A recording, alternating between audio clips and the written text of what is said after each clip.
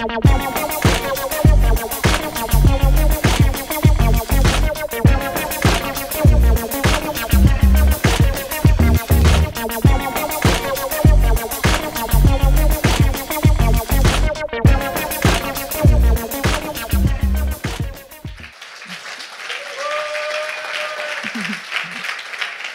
T'es dans le bain là, ça y est.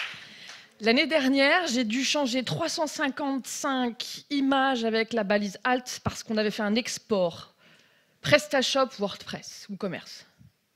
Et là, à ce moment-là, j'ai eu vraiment le moral à zéro. Et puis après, je me suis dit, ouais, mais t'es passé sur WordPress, donc la vie est belle. Depuis, eh bien, approfondissement ou commerce, la vie est belle toujours quand son ordinateur s'éteint. La vie reste belle. Allez, on y va. Donc, euh, depuis plusieurs années, donc, je suis euh, plutôt orientée. Enfin, j'ai été graphiste. Je suis graphiste, euh, designer, illustratrice, peintre, chanteuse, danseuse, mère de famille, etc. Et je fais aussi de temps en temps des thèmes graphiques. Pour être plus sérieuse, en fait, depuis quelques années, j'ai découvert WordPress parce que je faisais aussi, comme beaucoup, tout à la main. Donc, j'ai connu Dreamweaver et un jour, j'ai connu WordPress et la vie est belle. Voilà, donc je me suis présentée déjà. En fait, ce qui m'intéresse euh, dans le, développement front-end, c'est de pouvoir effectivement utiliser tous les outils du graphiste euh, classique, print, euh, et de pouvoir vraiment transposer tout ça sur le web. Alors longtemps, ben, en tant que graphiste, j'ai fait comme tout le monde, j'ai utilisé Photoshop, tatati, tatata, tatata. et puis quand on rentre dans le monde du web et qu'on a effectivement des, développeurs et des clients, on se rend compte qu'on ne peut plus travailler tout seul dans son coin sans faire un minimum de vous avez compris. Donc le web, euh, j'aime beaucoup cette citation de Patonnier et Rigaud sur un, sur un livre qui est plutôt bien fait, qui nous explique effectivement que le web est un environnement assez hostile. Pourquoi? Parce qu'en fait, euh, il est tellement vaste et, euh, riche de, de choses très différentes que c'est quand même quelque chose de assez compliqué. On, s'en rend bien compte à travers toutes les conférences également. Donc euh, euh, nous, en tant qu'intégrateurs et puis en tant que développeurs front-end, notre, notre rôle est vraiment de- d'essayer d'aller vers le minimum de problèmes et le maximum de, confort et de, pour répondre à un maximum aussi au cas réel. Donc nous, du côté front-end, bah, c'est un peu ça. Hein. Do you speak HTML. Bref, Grunt et tous ces trucs-là, c'est pas des monstres, hein, c'est vraiment des langages. Donc euh, beaucoup de configurations système différents, des énormes, enfin des devices, des voilà, des iPhone 6, 12, 22, euh, bientôt 38, euh, voilà, etc. euh, des tablettes de toutes les formes, à l'envers, à l'endroit, des montres. Enfin voilà, à un moment donné, ça devient compliqué.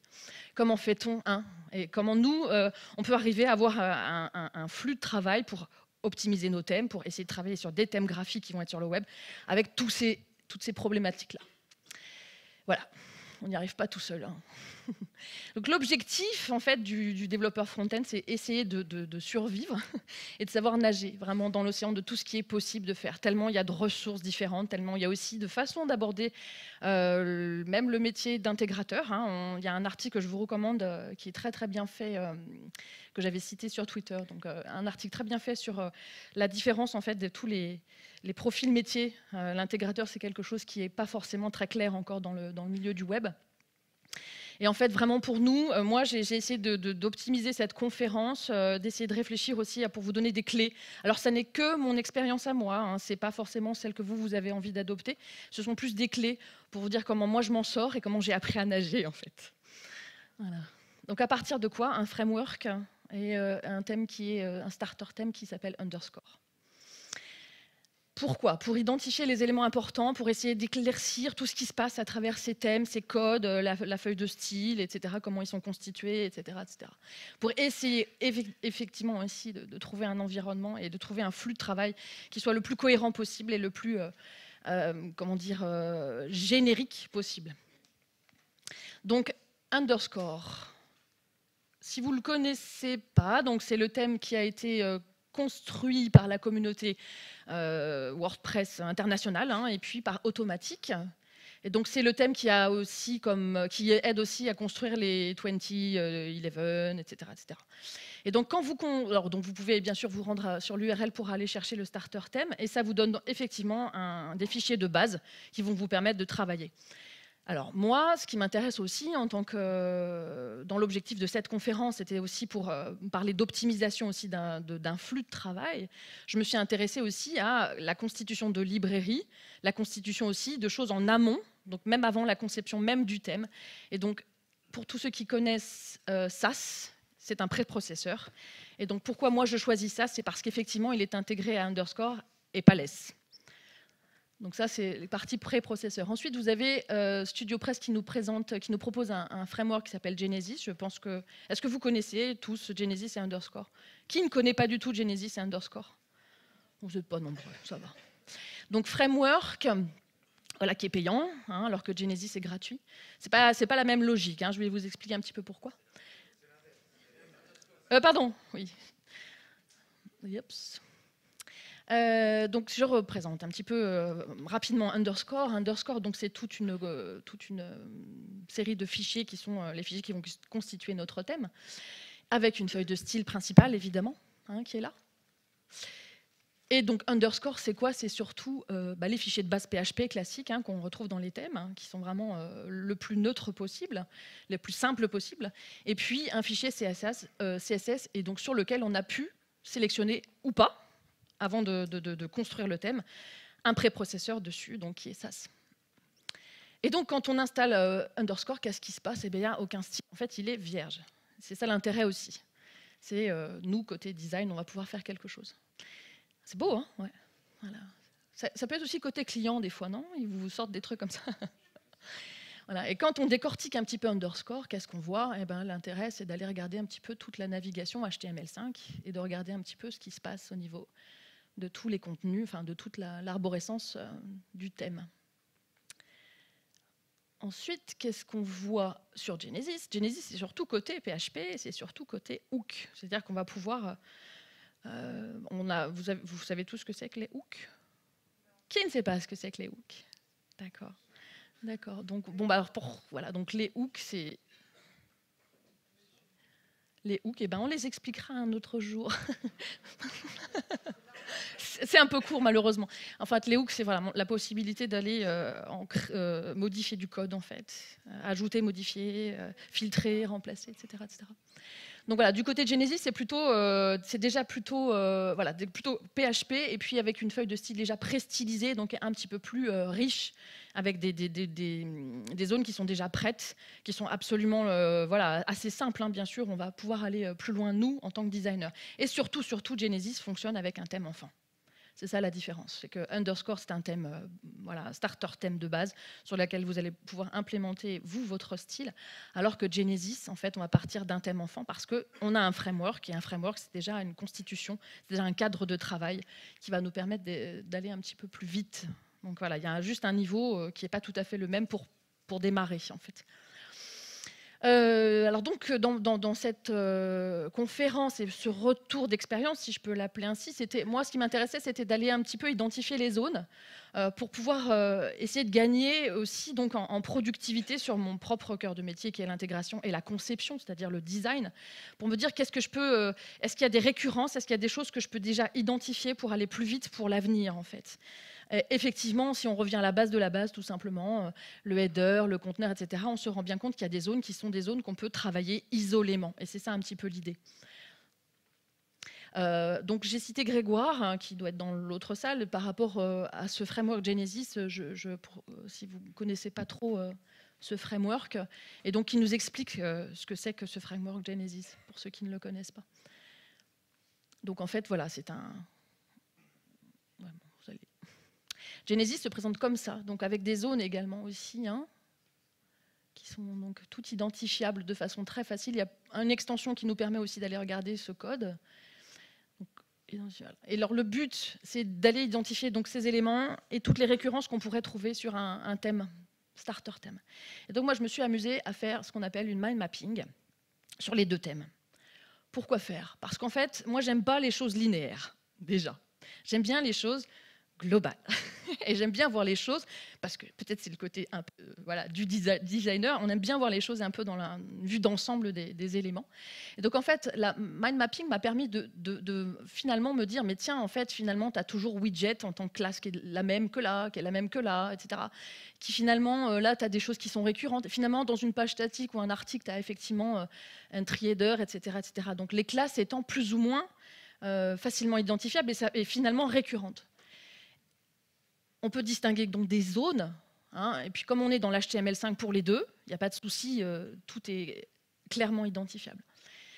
Et on retrouve également ici, donc là c'était euh, Genesis. Oui, c'est Genesis avec un wrap. Donc un conteneur euh, pour le responsive.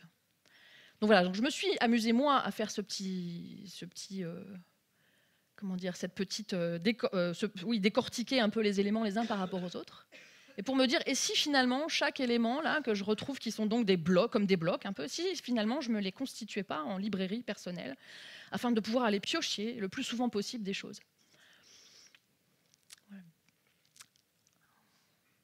Par exemple, si on prend le site conteneur, bon voilà. Et aussi, pourquoi pas, changer et harmoniser les deux pour avoir de plus en plus de librairies communes entre Underscore et Genesis, pour avoir aussi un petit peu plus de gains de productivité.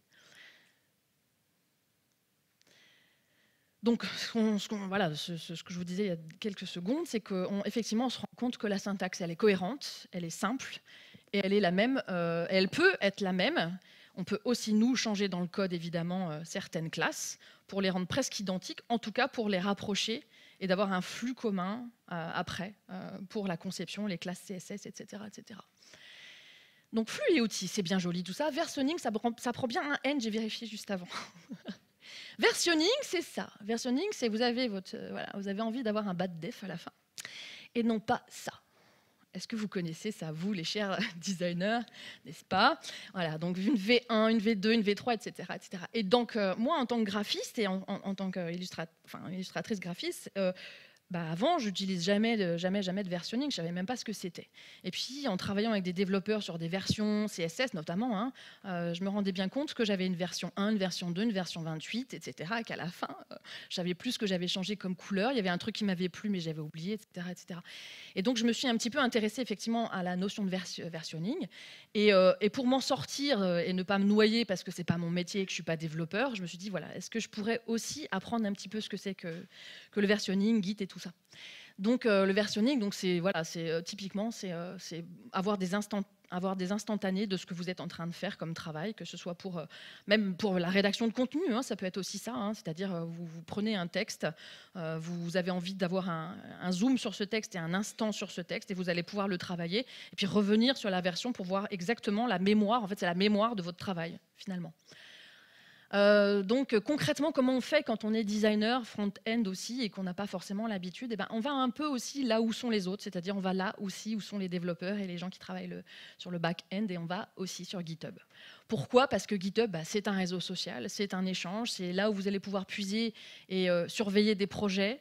Euh, vous allez pouvoir effectivement avoir plein de ressources très intéressantes et suivre des choses au fur et à mesure. Donc euh, GitHub, c'est gratuit, c'est un, un, un, vraiment un super réseau. Euh, vous allez pouvoir constituer vos propres librairies au fur et à mesure.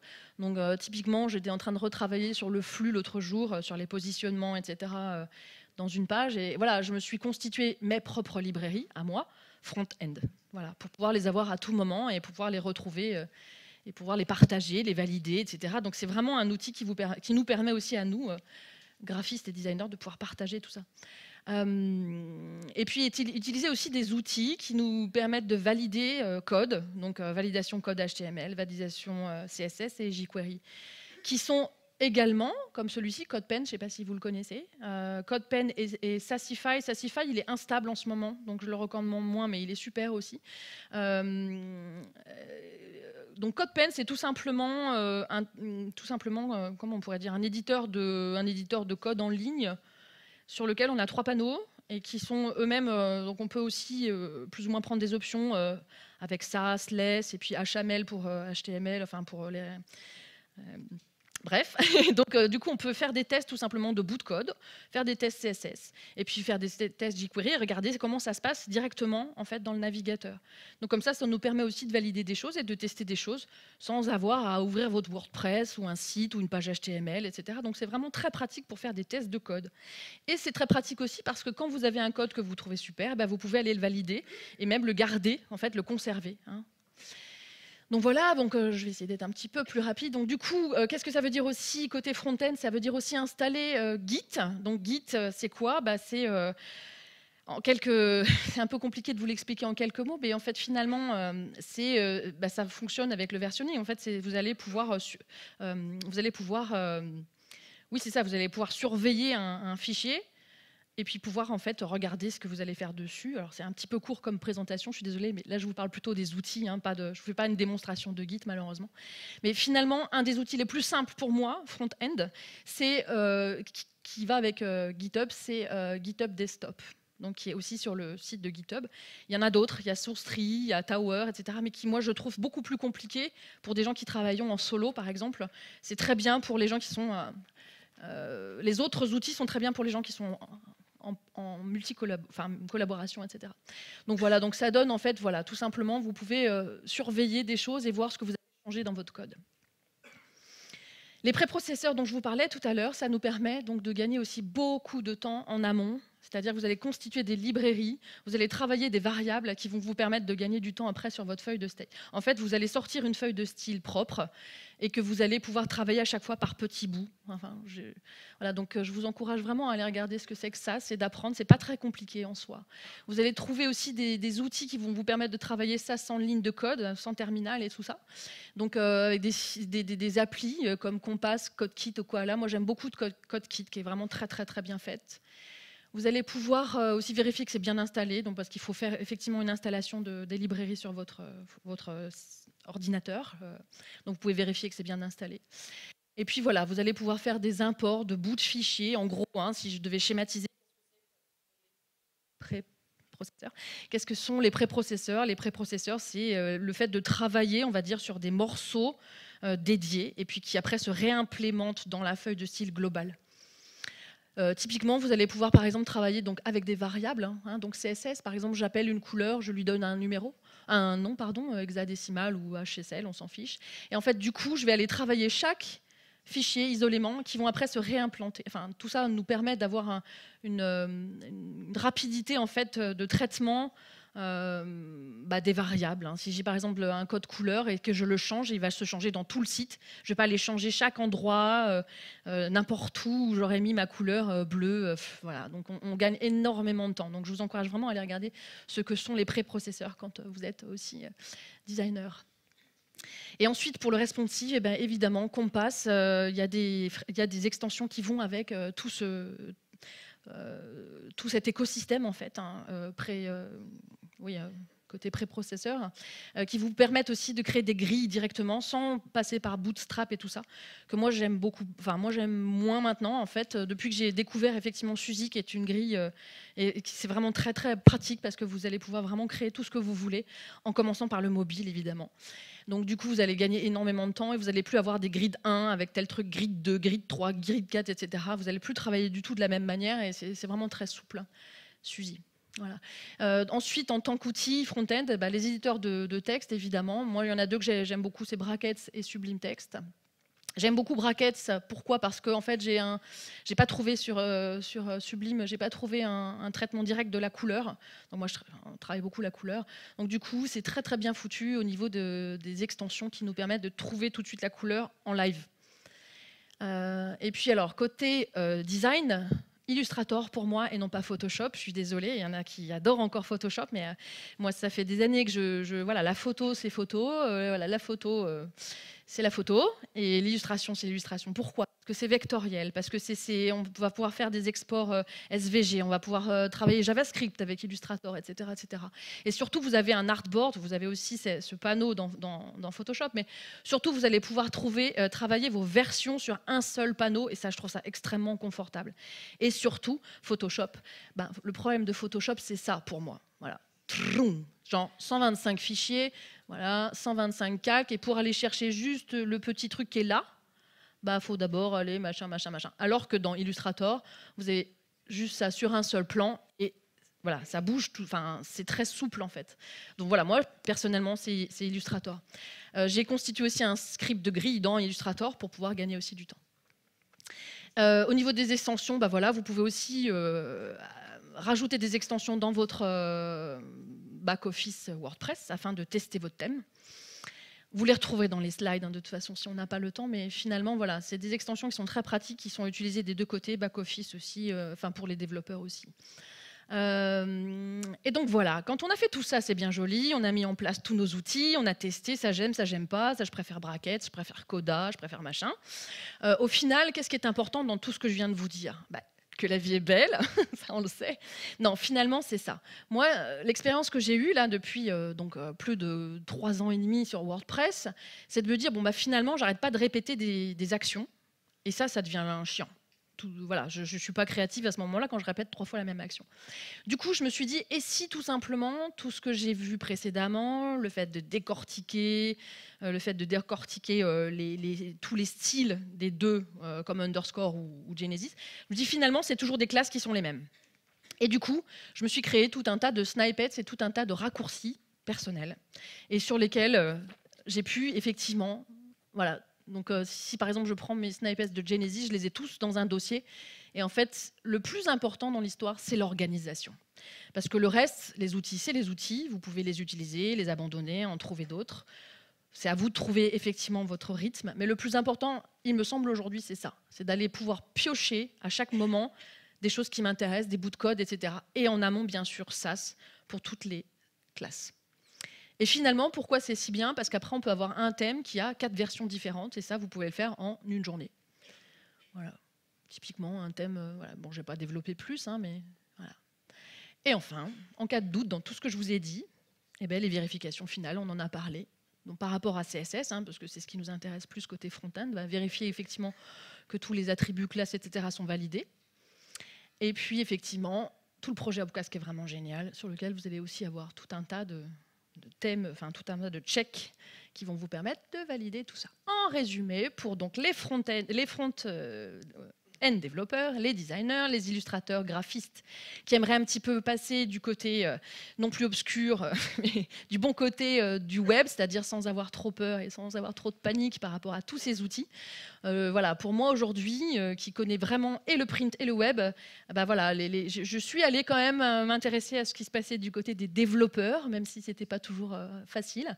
Mais vraiment, je vous encourage vraiment à utiliser tout ça. Et puis après, ben, bien sûr, faire vos tests et vos choix. Voilà. Merci à vous.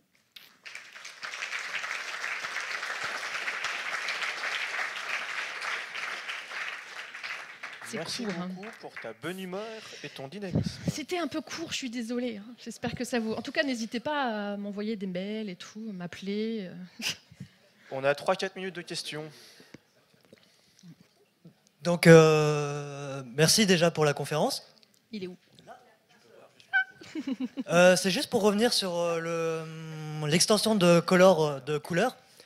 Pour Sublime Text, tu as le plugin, l'extension pardon, Color Picker. Ça marche pas. Moi, ça marche pas chez ah, moi. non.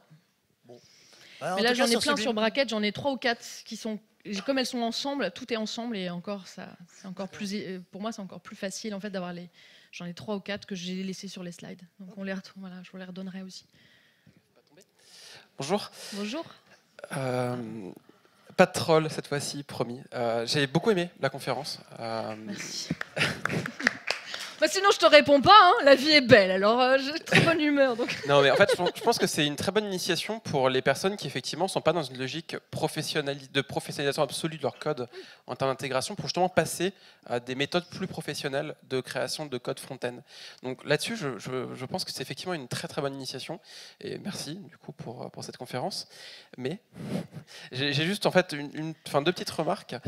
Euh, la première, c'est sur, euh, c'est sur Compass en fait, où euh, c'était un merveilleux outil, mais mm. qui est en désuétude aujourd'hui. Absolument. Et CodeKit mm. encore plus, en fait. Et euh, c'est-à-dire qu'aujourd'hui, avec justement ces, ces, gros mots euh, comme grunt, gulp, etc., alors ça demande un bagage technologique un peu plus fort pour pouvoir les appréhender.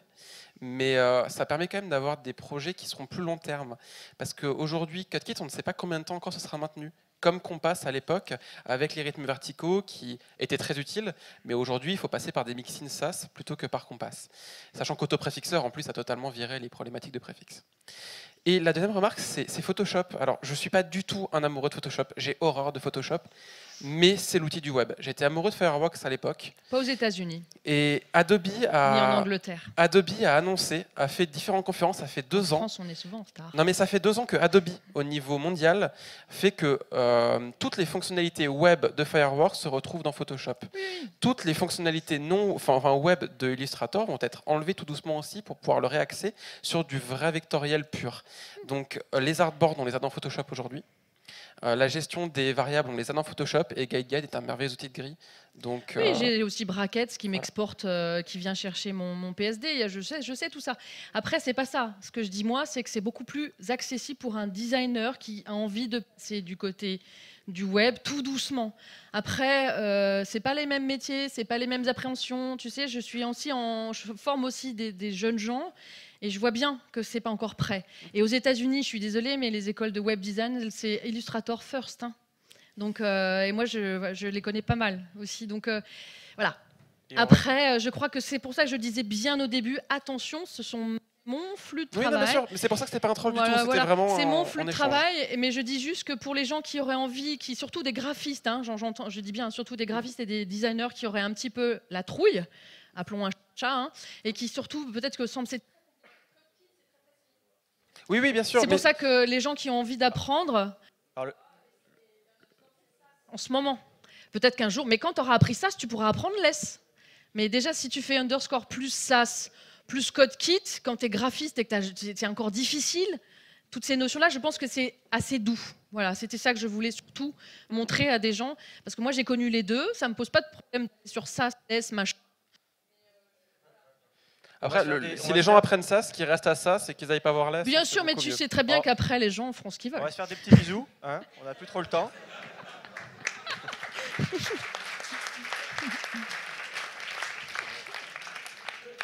Merci Damien pour le débat. Euh, Juste une petite question vite fait, ça prendra pas autant de temps. Euh, T'as testé Sketch? Oui. Et pourquoi Illustrator Bah parce que je suis euh, encore avec mes. Parce que j'ai des tonnes de fichiers encore à, à transformer tout doucement, et je pense que j'y arriverai. Enfin, je pense que je vais utiliser tout. C'est-à-dire que je me, je me ferme pas à un outil. C'est-à-dire que jusqu'à maintenant, euh, déjà Illustrator, et puis après, petit à petit, tu vois, intégrer au fur et à mesure d'autres outils. Ah, Il y, a, il y a six mois, je savais pas utiliser SAS. J'ai appris SAS toute seule il y a six mois. Donc à un moment donné, je crois que c'est juste laisser l'évolution au temps faut pas non plus se speeder comme des malades et euh, je crois qu'il faut être cool dans la vie. Merci pour ton Parce avis. que la vie est belle. Merci pour ton avis. Merci. On peut tous l'applaudir. Euh,